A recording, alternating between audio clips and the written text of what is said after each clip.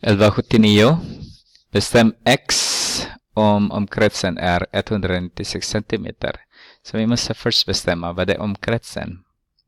Så jag skriver här omkretsen är lika med den här hela den här om man tittar på.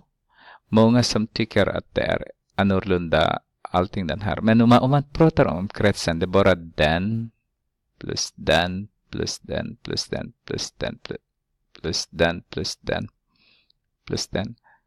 Så om jag tittar på den här först, det är 4x. Och den plus den plus den, det är också 4x. Om jag tittar på hela den här, det är 3x.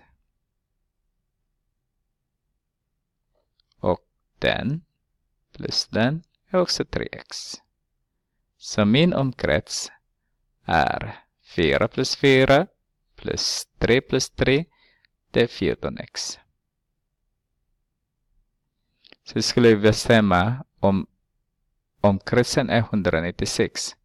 Alltså omkretsen är lika med 196 centimeter. Skulle bestämma vad det är x. Så 196 är lika med 14x. Och dividerar man med 14, därför jag har multiplikation där emellan. Så dividerar man med 14. Och det blir, här blir 1. X har jag nu. Min miniräknare säger att 196 dividerat med 14 är 14. Och jag skriver så här så att ni ser centimeter.